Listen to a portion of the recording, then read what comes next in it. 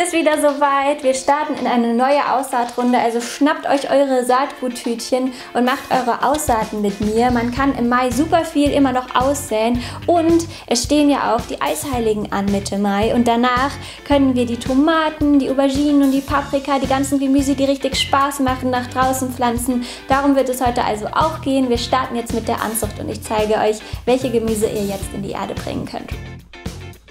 Und wir fangen an mit dem ganzen Wintergemüse, denn jetzt ist die Zeit, wo man an den Winter denken muss. Wenn ihr im Winter immer noch ganz viel Lauch und die ganzen anderen Wintergemüse essen möchtet und aus eurem Garten ernten möchtet, dann bringt die jetzt in die Erde, weil die brauchen diesen Vorsprung. Die müssen im Winter schon groß sein, deswegen muss man die rechtzeitig im Jahr aussäen. Und da fangen wir jetzt an mit dem Winterlauch. Die Sorte, die wir anbauen, heißt blaugrüner Winter. Den bauen wir seit Jahren an und sind super zufrieden mit dem. Und da sähe ich jetzt einfach ein paar Samen in ein Schälchen, bedecke sie mit Erde, können alle in einem Töpfchen bleiben, bis man sie dann am Ende nach draußen pflanzt. Dann vereinzelt man einfach die Pflänzchen, die alle zusammen in einem Topf gewachsen sind und ähm, pflanzt sie einzeln ins Beet. So, leicht andrücken und natürlich beschriften nicht vergessen. Das hier sind übrigens Eisstäbchen. Da haben ja auch viele gefragt, was wir da zum Beschriften nehmen. Finde ich ganz toll, wenn man da keinen Plastikmüll hat und am besten immer mit einem Bleistift beschriften. Ich habe das viel zu oft schon mit Eddings gemacht und das wäscht sich einfach raus und man kann am Ende nichts mehr lesen, was auf dem Schädchen draufsteht. Wir machen mit einem richtig tollen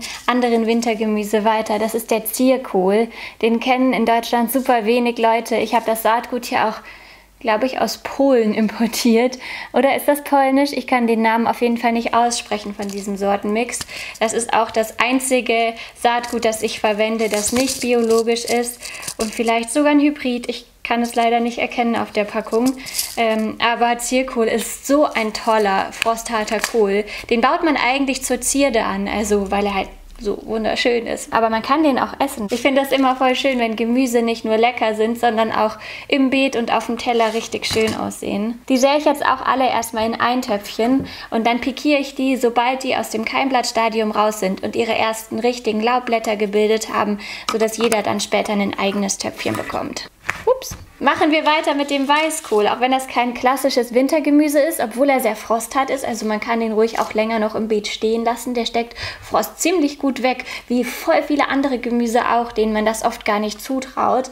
Ich wähle jetzt eine Sorte aus, die heißt Holsteiner Platter. Ihr könnt aber auch, wenn ihr Sauerkraut herstellen wollt, die Sorte Dormana aussäen und dann ähm, euer eigenes Sauerkraut herstellen. Das geht natürlich auch mit vielen anderen Sorten. Ich kann mir vorstellen, dass diese Sorte dafür auch super gut geeignet ist. Aber manche Sorten eignen sich dafür einfach ein bisschen besser, weil die zum Beispiel ein knackigeres Sauerkraut abgeben. Und deswegen stehen wir total auf diese Sorte Domana. Als nächstes steht der Rosenkohl auf dem Programm. Für den ist es jetzt auch Zeit. Der braucht auch ein bisschen Vorsprung. Ich finde sogar, dass es im Mai oft schon ein bisschen spät ist, um Rosenkohl zu säen. Es kommt natürlich immer auf die Sorte an. Manche kann man auch noch im Juni und Juli wunderbar aussäen. Aber ich mache das meistens lieber ein bisschen früher, sodass sie die Zeit haben, dann auch richtig schön groß zu werden und am Ende auch einen guten Ertrag abzuwerfen. Ein anderer Winterkohl, den wir jetzt aussäen, ist der Grünkohl und der Palmkohl. Die sind sicher super ähnlich. Wir essen nicht so gerne Grünkohl, deswegen haben wir den letztes Jahr zum Beispiel überhaupt nicht angebaut, aber ja, so ab und zu ist das schon nicht schlecht. Ihr werdet wahrscheinlich auf die Barrikaden gehen, weil ihr Grünkohl bestimmt total lecker findet. Aber ich freue mich auf jeden Fall auf den Palmkohl, weil der so wunderschön ist. Da bauen wir die Sorte Nero di Toscana an. Die kann man aber auch echt noch deutlich später im Jahr aussehen. Also da ist es jetzt nicht wirklich nicht eilig, dass der jetzt super schnell in die Erde muss. Und dann sähe ich jetzt noch die Sorte äh, ostfriesische Palme aus. Die kennen bestimmt auch viele von euch. Die schlägt sich gut im Garten. Die gibt einen guten Ertrag ab, sieht hübsch aus. Was will man mehr? Grünkohl ist übrigens super unempfindlich, was diese ganzen Kohlschädlinge angeht. Weißkohl, Rotkohl, Blumenkohl und so weiter, die werden ja super schnell von allen möglichen Schädlingen befallen. Und der Grünkohl auch, also gerade auch die weiße Fliege. Aber ich finde, mit dem Kohlweißling hat man da viel weniger Probleme. Also vielleicht als kleine Idee für diejenigen von euch, die sonst immer so unter den Kohlschädlingen leiden. Wir machen weiter mit dem Salat. Da sähe ich jetzt die Sorte Pirat aus, weil die so schön schossfest ist. Der Salat möchte ja im Sommer immer ganz gerne blühen und schmeckt dann nicht mehr so lecker. Und deswegen ist es ganz klug, wenn man sich im Jahresverlauf immer ein paar unterschiedliche Sorten zurechtlegt. Der macht sich super gut im Sommer und im Winter haben wir dann andere Sorten, die da super ähm, gut funktionieren und sehr frosthart sind. Wichtig beim Salat, ne, das ist ein Lichtkeimer, also die Samen nur oben aufstreuseln, sodass sie nicht von Erde bedeckt sind oder höchstens ganz dünn mit Erde bedeckt sind. Der keimt auch super schnell, das ist echt sehr, sehr einfach, den hier vorzuziehen. Und der Salat wird auch später in einzelne Töpfchen pikiert, wenn er größer ist. Ich stelle jetzt auch noch die Sorte Little Gem aus. Die ist nicht ganz so schossfest, aber ich mag die einfach total gerne und deswegen kommt die jetzt auch noch mal ins Beet. Machen wir weiter mit einem Wintergemüse, dem Wirsing. Und da kann ich mich diesmal echt nicht entscheiden. Ach, Tatsächlich habe ich eine Saatkutütchen doppelt. Da säen wir normalerweise immer die Sorte Winterfürst aus. Ähm, wir haben aber dieses Jahr, das habe ich ja im letzten Video schon gezeigt, im letzten April-Aussaaten-Video, dass wir mal etwas Neues ausprobieren. Das ist eine Kreuzung aus Wirsing und Weißkohl.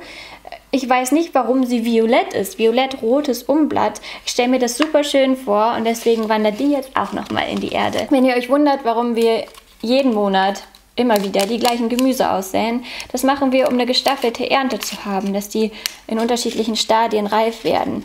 Ich mache das, seitdem ich diese ähm, Monatsaussatzvideo mache für euch, ein bisschen extremer, weil ich euch ja auch hier irgendwas zeigen möchte. Normalerweise würde ich nicht jeden Monat Wirsing aussehen, wenn es irgendwie möglich ist. In der Tendenz ist das schon super wichtig, damit man nicht nur einmal eine große Ernte hat, sondern das ganze Jahr über immer wieder ernten kann. Deswegen versuchen wir das eben so zu staffeln, dass es ein bisschen mehr so ist, als wenn wir in den Laden gehen und uns unser Gemüse da kaufen. Da würden wir uns ja auch immer hiervon ein bisschen, hiervon ein bisschen nehmen und nicht einfach einen ganzen Einkaufswagen voll Wirsing auf einmal. Das überfordert einen schnell und das ist dann schade, wenn es einem die Lust am Gärtnern verdirbt. So, der Winterfürst landet aber jetzt auch noch in den Aussatzschälchen. Dann habe ich hier noch den Rotkohl liegen.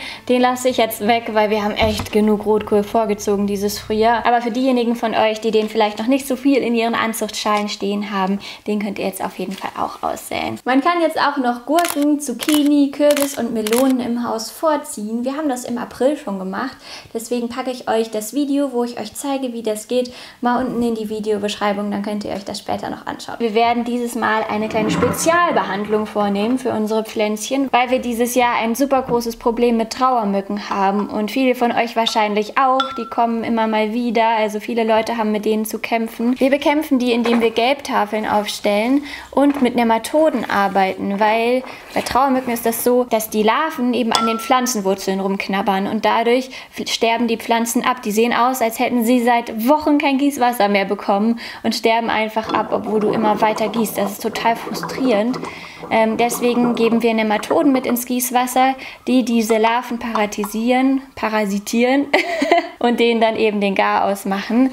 Und ähm, deswegen feuchte ich die Erde jetzt erstmal an, hier mit meiner tollen Ballbrause. Und dann mische ich jetzt ähm, Nematoden ins Gießwasser.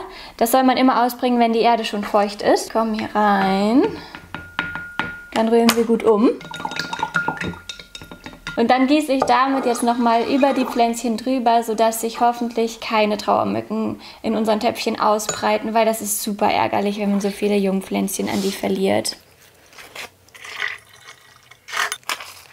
Eine andere Maßnahme, die auch gut gegen Trauermücken hilft, wäre eine dünne Sandschicht auf der Erde auszubringen. Da würde ich aber erst warten, bis die Pflänzchen dann alle auch aus der Erde schauen, bevor wir das dann machen, falls es nicht so besser wird. Aber bisher hat das ganz gut geholfen, nur die Nematoden zu verwenden und die Gelbtafeln zusammen, um die rumschwirrenden Fliegen abzufangen, damit die keine Eier mehr legen können. Und jetzt schauen wir mal, welche Gemüse wir jetzt im Mai nach draußen direkt ins Beet säen können. Da fange ich erstmal mit denen an, die auch Anfang Mai schon gehen, die also ein bisschen frosthärter sind und wo man nicht bis auf die Eisheiligen warten muss. Und dann später erzähle ich euch, welche Gemüse ihr nach den Eisheiligen noch raussäen könnt. Das ist einmal der Chicorée, den kann man jetzt wunderbar ins Freiland säen. Ich habe euch ja ein Chicorée-Video versprochen und ich hoffe richtig arg, dass ich das dieses Jahr filmen kann. Letztes Jahr hat der Chicorée die ganzen Pfauen- und Hühnerattacken leider nicht überlebt. Äh, unsere Nachbarn haben Hühner und Pfauen und die kommen jeden Tag in den Garten und reißen alles raus, was ihnen unter die Füße kommt. Ich werde den Chicorée dieses Jahr so gut beschützen, wie ich kann und dann hoffentlich im Winter ein Einlagerungsvideo für euch filmen, sodass ihr wisst, was ihr mit euren Chicorée-Wurzeln dann anstellt, damit ihr die im Winter im Haus treiben könnt. Erbsen kann man jetzt auch nach draußen säen, sowohl die Zuckererbsen als auch die Markerbsen. Das ist auch ganz clever, auch wenn ihr vielleicht im Februar oder März schon Erbsen gesät habt, das jetzt nochmal zu machen. Erbsen wachsen relativ schnell, da könnt ihr immer mal wieder neue von aussäen, sodass ihr da immer mit frischen Erbsen versorgt seid. Das sind auch eins der besten Gemüse. Oder wenn man die so vom Strauch zupft, die sind so lecker und süß, wenn man die frisch isst. Und sobald man die ein bisschen länger lagert oder man die im Laden kauft, haben die ihren ganzen Zucker schon in Stärke umgewandelt. Das heißt, das ist ein Gemüse, wo es sich mal so richtig lohnt, das selber im Garten anzubauen, weil die frisch einfach um Längen besser schmecken als alles, was man im Laden kaufen kann. Der Mangold kann jetzt auch wieder nachgesät werden. Beim Mangold muss man nicht so viel staffeln, weil man den ja immer wieder beernten kann. Man kann entweder nur die äußeren Blätter ernten und den Rest stehen lassen, sodass er nachwachsen kann. Oder man schneidet den ungefähr so viel über dem Boden ab, sodass der wieder austreibt. Es ist nicht verkehrt, jetzt noch mal eine spätere Mangoldaussaat zu machen, sodass ihr, wenn die älteren Mangoldpflanzen irgendwann nicht mehr so viel Power haben, wieder frischen Nachschub habt. Karotten kann man nicht mehrmals ernten, deswegen säen wir die quasi jeden Monat aus. Jetzt gehen wir auch zu den Lagerkarotten über. Ich habe jetzt am Wochenende zum Beispiel gerade ganz, ganz, ganz viele Karotten ausgesät. Also sagen wir mal so 30 Reihenmeter sind es bestimmt gewesen.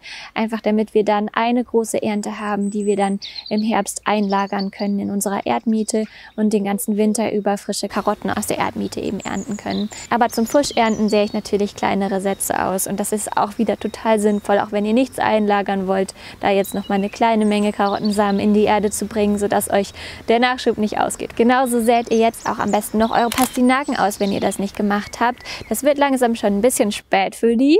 Ähm, Pastinaken sind ja ein Wintergemüse. Die sind ein bisschen langsamer als die Karotten. Das heißt, die brauchen ein bisschen mehr Vorlaufzeit. Die kann man auch im Februar eigentlich schon in die Erde bringen. Die Radieschen kann man ja eigentlich eh rund ums Jahr säen. Die gehen jetzt natürlich auch wieder.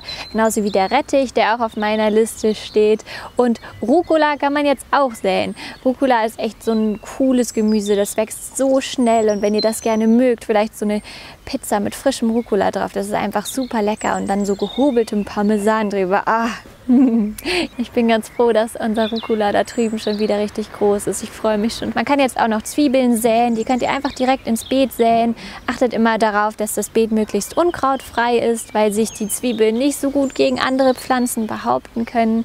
Zwiebeln und Möhren sind zum Beispiel auch eine tolle Mischkultur. Da könnt ihr beide auf ein Beet packen, weil die Möhren Unkraut auch nicht so toll finden. Die passen sehr gut zusammen. Auch aus vielen anderen Gründen ist das eine tolle Mischkultur. Ihr könnt jetzt auch Steckzwiebeln pflanzen. Da ist die Ernte einem ein bisschen sicherer. Es ist ein bisschen leichter, Zwiebeln aus Steckzwiebeln anzubauen. Ist natürlich auch ein bisschen teurer, wenn man die kaufen muss. Aber für Anfänger auf jeden Fall die leichtere Wahl, wenn man seine eigenen Zwiebeln anbauen möchte. Und wenn Mitte Mai die Eisheiligen vorbei sind, das heißt, wenn keine Spätfröste Feste mehr anstehen. Das ist in diesem Jahr ab dem 16. Mai der Fall. Aber wenn du das in einem anderen Jahr als 2021 schaust, dann schau lieber nochmal den Kalender. Dann können eben auch die Mimosen, die empfindlicheren, die Frostbeulen unter den Gemüsen ausgesät werden. Das sind zum Beispiel einmal die Busch- und die Stangenbohnen. Die sollte man erst säen, wenn wirklich keine Fröste mehr anstehen, sonst sind die ganz schnell hinüber. Machen wir weiter mit den Gemüsen, die man jetzt rauspflanzen kann. Also die Pflänzchen, die ihr entweder in der Gärtnerei oder auf dem Wochenmarkt gekauft habt oder die die ihr selber im Haus vorgezogen habt. Das geht jetzt mit allen Kohlgemüsen. Die sind ja sowieso schon seit ungefähr März mit dabei. Die sind relativ frosthart, das heißt, die kann man, sobald sie abgehärtet sind, direkt nach draußen ins Beet pflanzen. Brokkoli, Weißkohl, Rotkohl und so weiter, Kohlrabi, alle Kohlgemüse sind jetzt möglich und auch schon lange möglich. Genauso wie der Salat und die Zwiebeln und den Lauch, die ihr vorgezogen habt. Das da sind meine Pflanzkartoffeln. Der Mai ist nämlich der perfekte Monat, um Kartoffeln zu pflanzen und wie das funktioniert. Und zwar ganz ohne umgraben und wie man mit denen ein ganz neues Beet anlegen kann. Darum geht es nächste Woche, also schaltet auf jeden Fall nächsten Samstag wieder ein. Dann kommen wir zu den wärmeliebenden Kandidaten, die ihr rauspflanzen könnt, wenn die Eisheiligen vorbei sind. Und das sind die Gemüse, die so richtig Spaß machen. Ihr könnt dann Tomaten pflanzen, Gurken, Zucchini, Auberginen, Paprika, die ganzen, also auch Melonen können dann ins Beet. Die Kürbisse sind sehr frostempfindlich, das heißt, die dürfen auch nach den Eisheiligen nach draußen. Zum Thema Tomatenpflanzen draußen, was ja jetzt für uns alle ansteht, gibt es super viel zu sagen und super viel, was man falsch beziehungsweise richtig machen kann, damit man dann am Ende auch eine super Ernte hat. Und darüber habe ich auch schon mal ein komplett eigenes Video gemacht. Also schaut euch das gerne an, das verlinke ich euch da drüben. Ansonsten geht raus, macht die Welt ein bisschen grüner. Wir sehen uns am Samstag wieder um 10 für ein neues Video.